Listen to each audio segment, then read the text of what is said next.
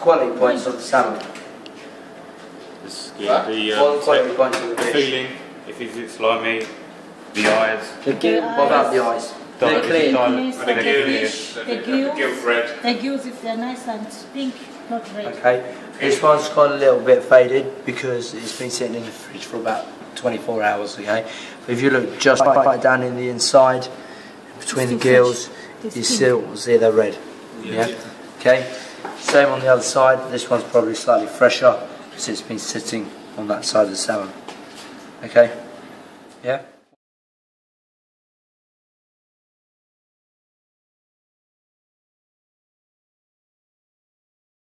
Eyes, What about the eyes?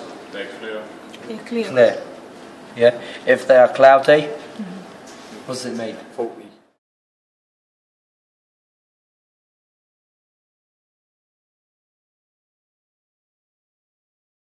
The tail is a very good indicator, guys. Okay. If it's dried out like this, okay, it's been out of the water for more than about 48 hours. Okay. Again, look at the actual shape of it, where it's been split here. Okay, and here and here. Okay, it's where the fishmonger has not taken as much care as it should.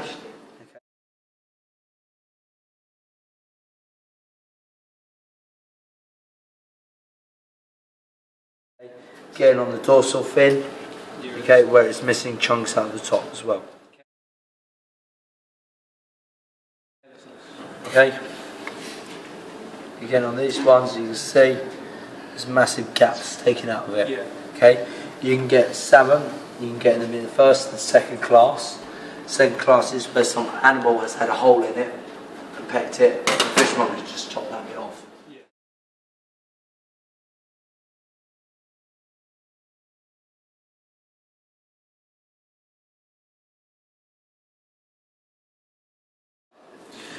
Remove all the fins, guys.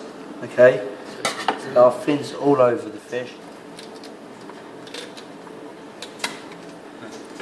Okay. This one at the bottom. Again, we just give it a couple of snips. Will damage to the fins affect like the make the toll? Is it just Not really. It depends how much damage there is to the fish. If there's loads of bits, bits missing like that, then Yeah. you probably will find inside's not as nice. yeah? But then the fresher it is on the outside, the better the quality inside. More Yes, pretty less. Better, much. basically. Yeah, Okay. alright. So what's normally in here? Yeah, that's what I do. Guts. Guts. Guts got- Right. Liver, kidney, guts. You don't have to cut it. I'm just cutting this to show you. Yeah. Okay.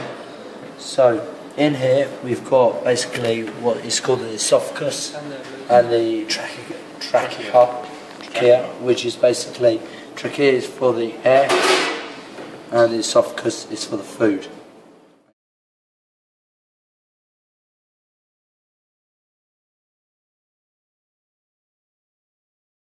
Okay.